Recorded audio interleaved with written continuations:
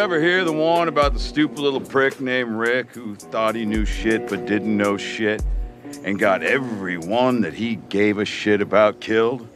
It's about you. Y'all gonna wanna put your guns down now. No one drops anything. We had a deal. Tamiel came for the boat things, followed ones who took. Made a better deal. You just tried to blow us up, right? I mean, I get me, my people, but Eugene, he's one of yours.